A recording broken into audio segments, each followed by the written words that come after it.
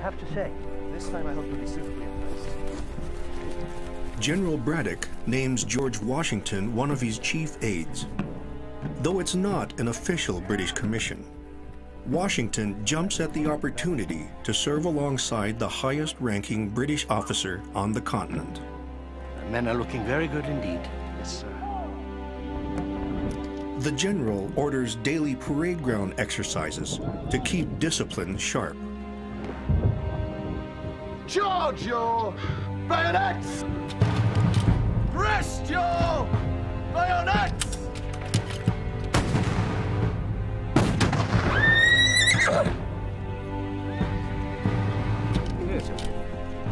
But about one third of Braddock's army are American provincials, untrained enlistees from Virginia, Maryland, and Pennsylvania.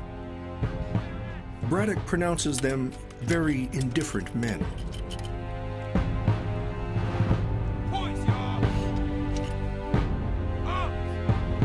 It isn't only the drilling that's unfamiliar to the Americans.